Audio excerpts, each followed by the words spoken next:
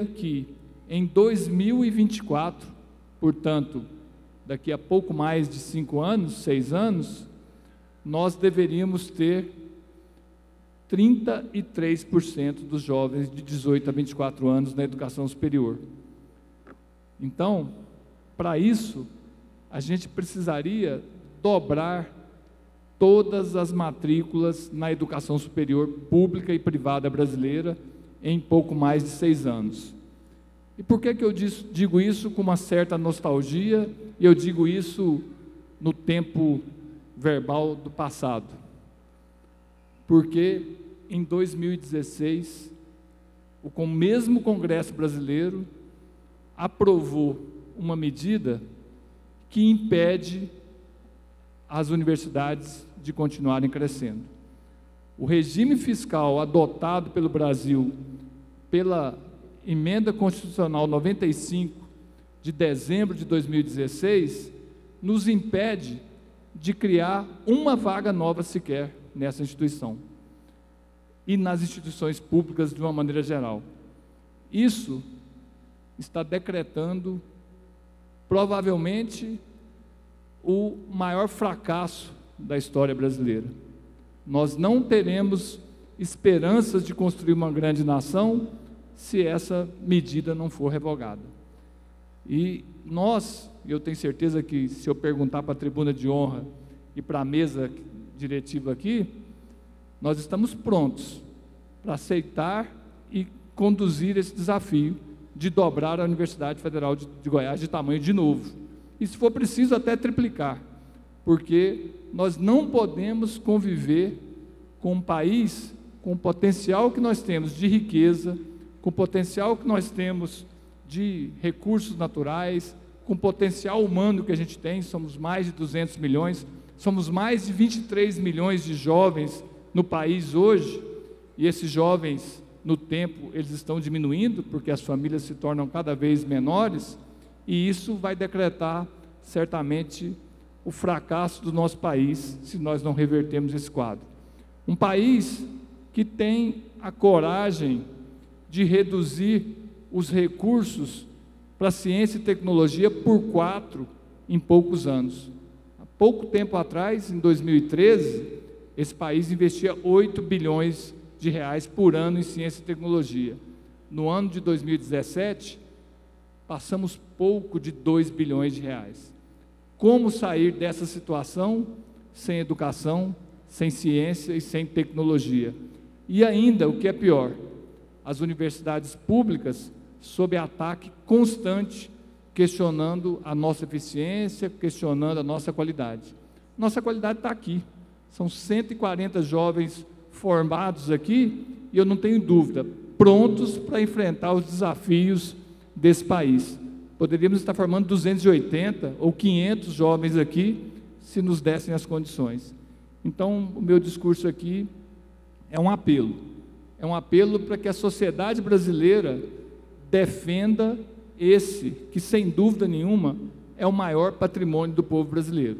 O maior patrimônio do povo brasileiro é o conjunto de 63 universidades federais e 38 institutos federais que juntos recebem aproximadamente 2 milhões e meio de estudantes.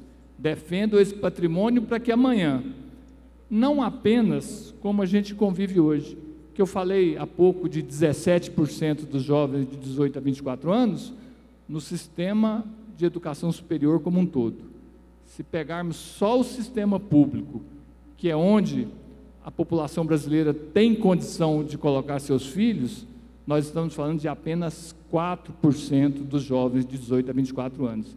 Esses jovens que estão aqui hoje representam cada um deles 4 de 100, apenas 4 em 100 conseguem sentar aqui onde esses jovens estão hoje.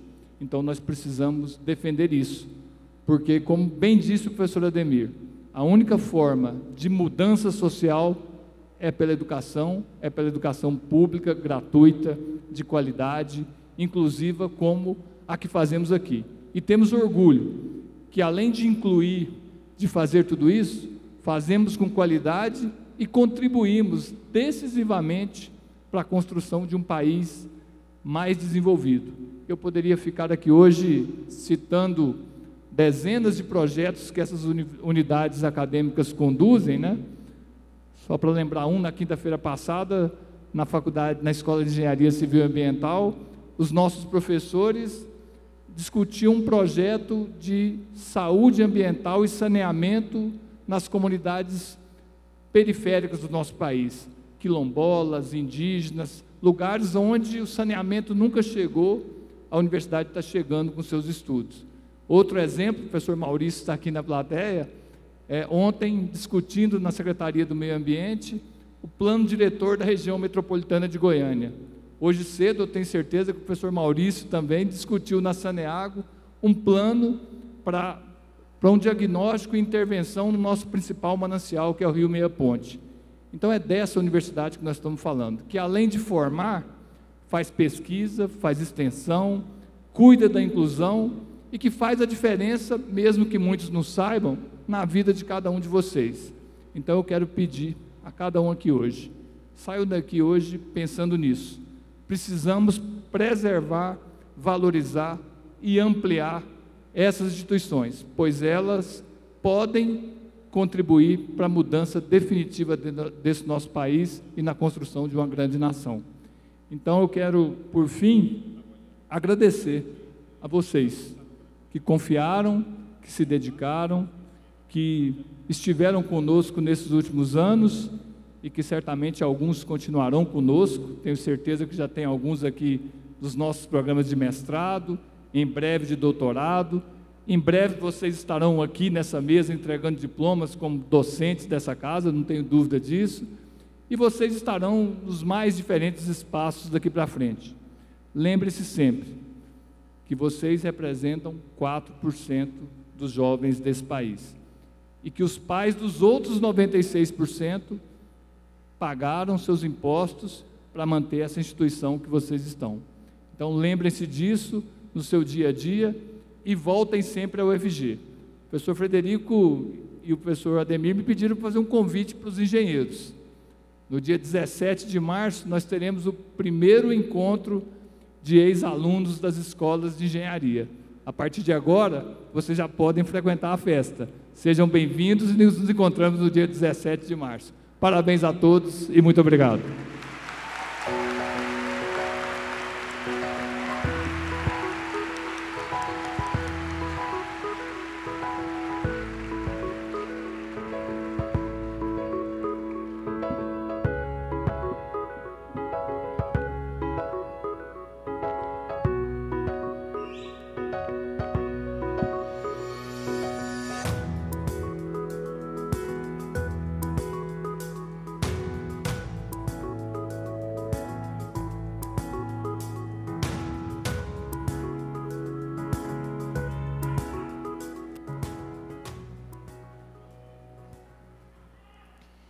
Teremos agora a chamada nominal dos formandos para o recebimento dos diplomas.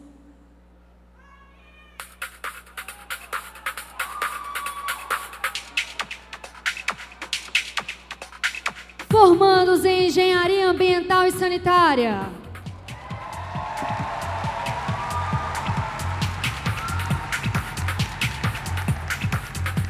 Ana Caroline Rodrigues Cassiano de Souza.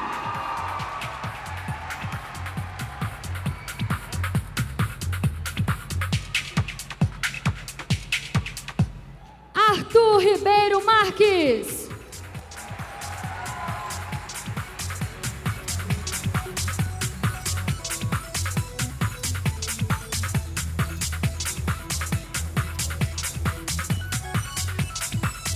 Caio Silva Nogueira.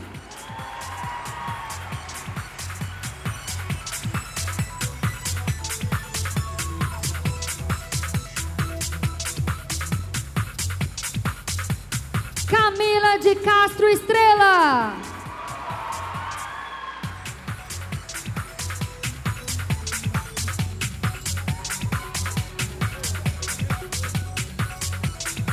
Eduardo Granieri de Oliveira.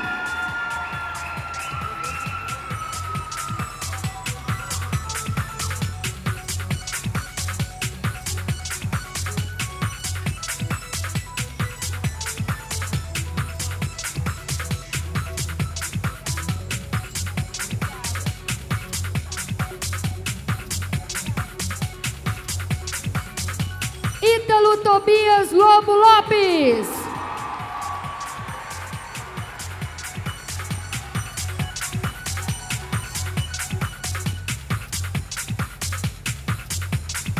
Ivana Ferreira Galvão.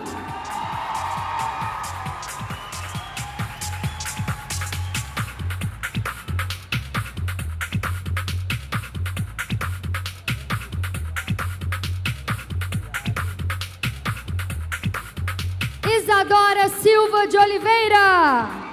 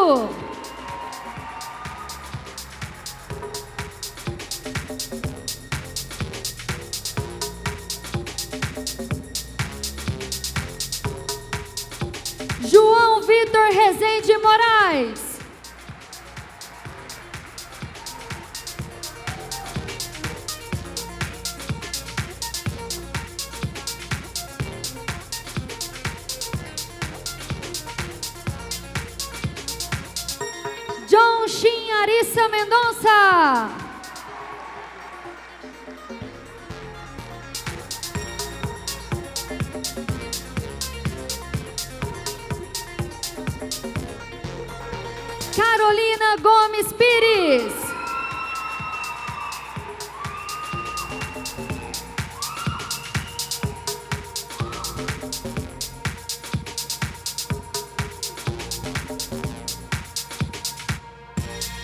Luísa Fernandes Correa Machado.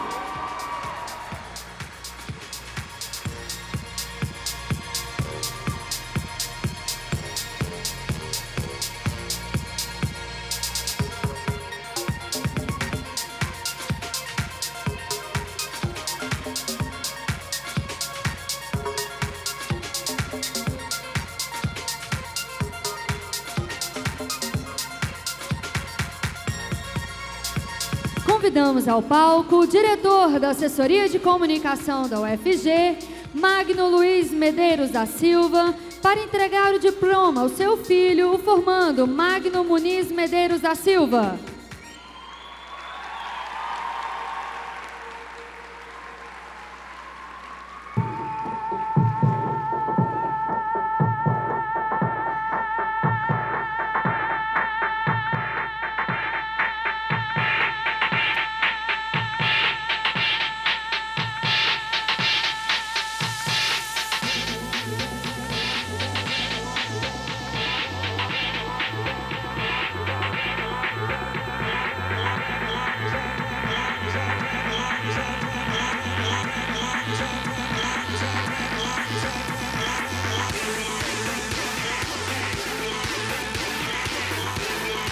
Marcela Irossi Miabara.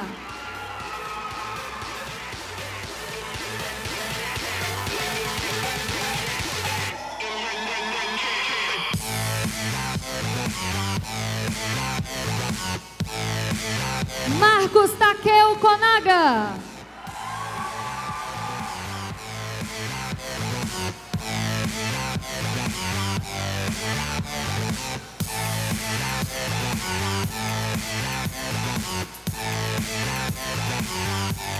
Mariana de Paula Marques.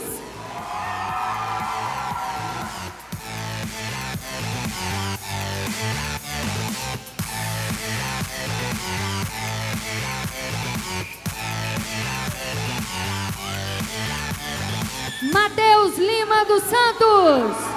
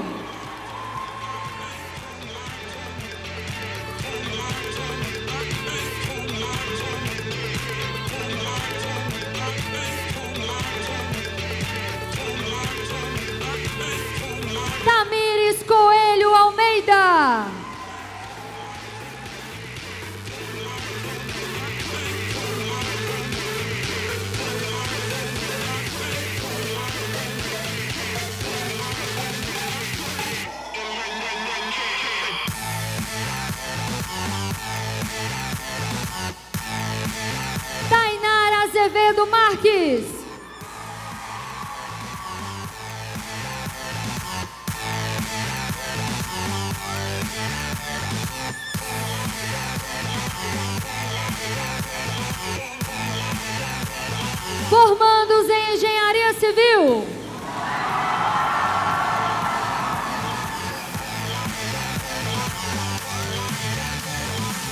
Alexia Graçuri Barreto de Oliveira.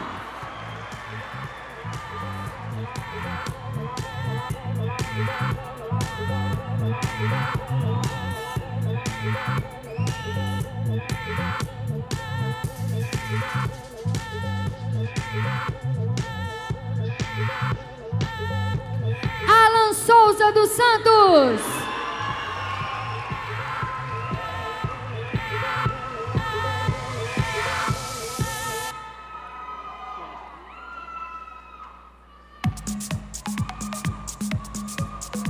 Amanda Guimarães Matsui.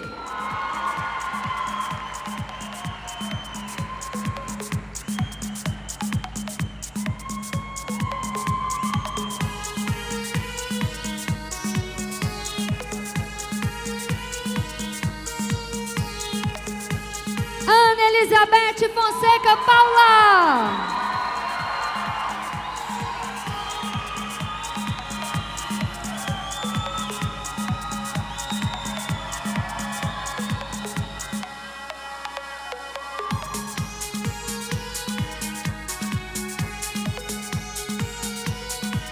Arthur Felipe Gonçalves Cardoso de Miranda.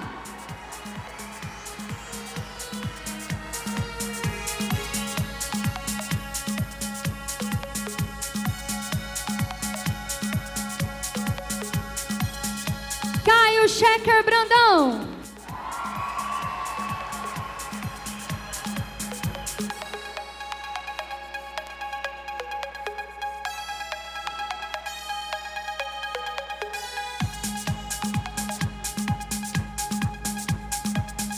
Caio Lucas Ferreira Castro.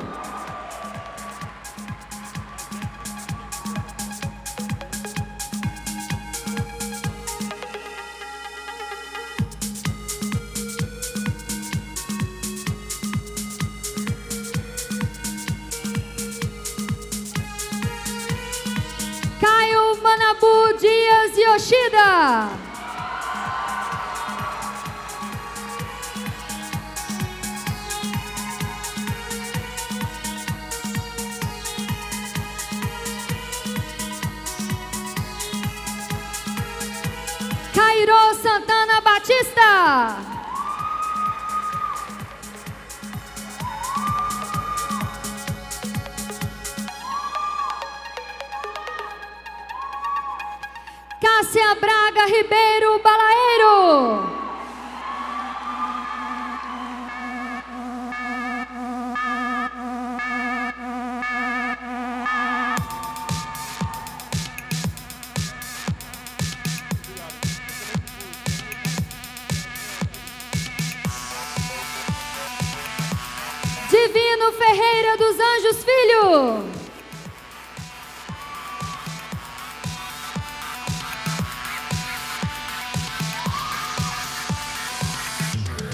Eduardo de Almeida Leandro.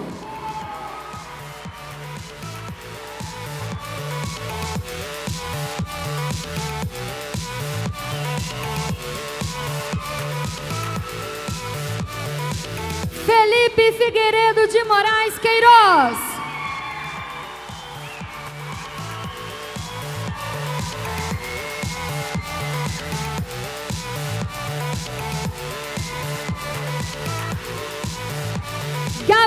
César Pereira da Cunha.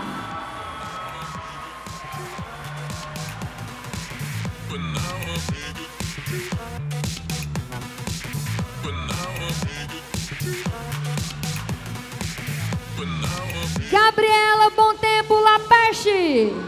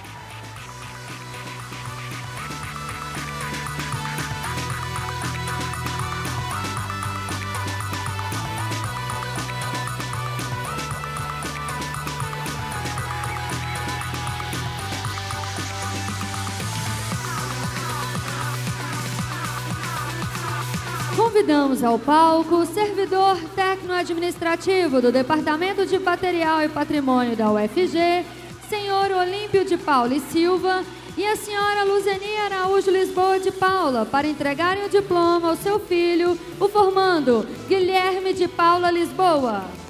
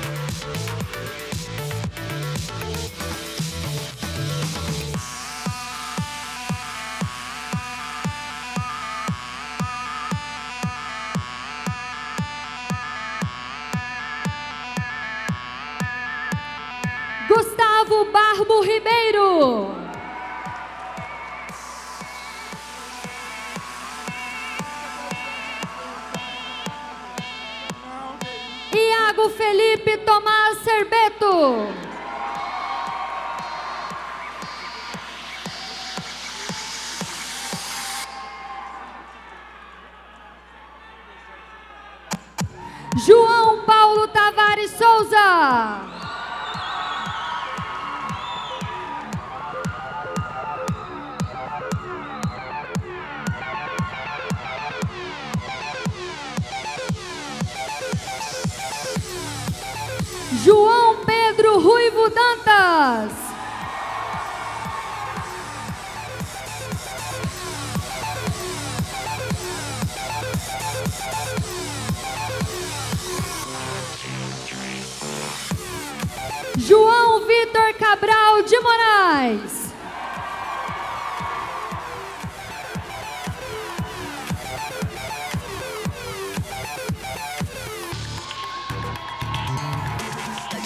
Leonardo Moraes Naves Mendes.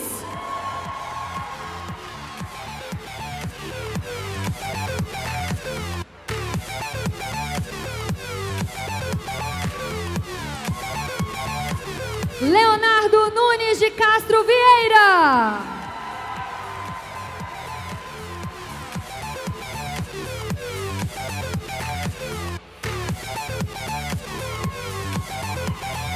Letícia Guimarães Zoca.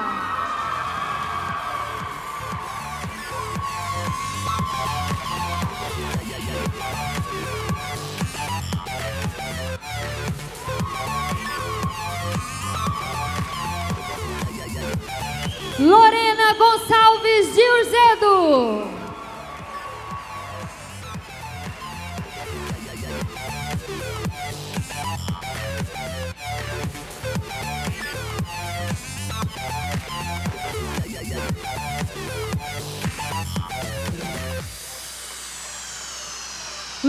Santos Santana.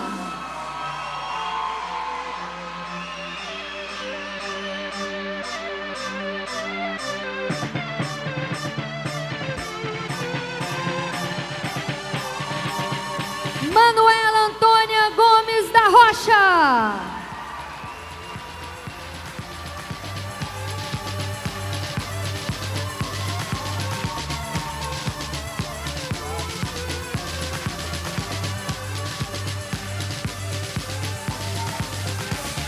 Marcelo Cândido da Silva.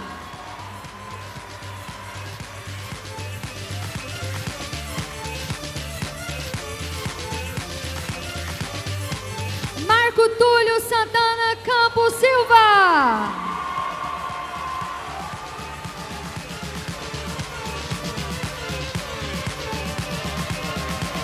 Múcio Bonifácio Guimarães Filho.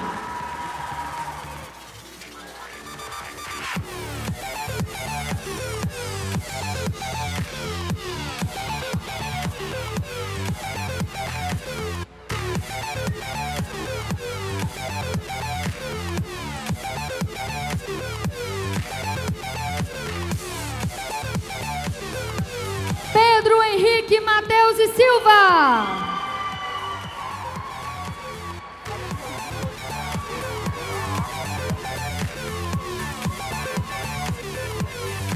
Pedro Paulo Barros Benvenuti.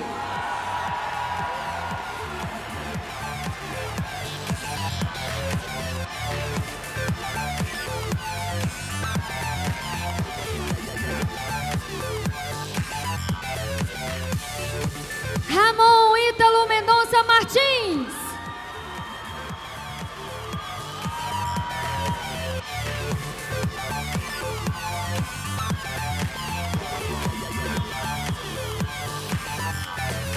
Roberto Riusso Eto Murakami.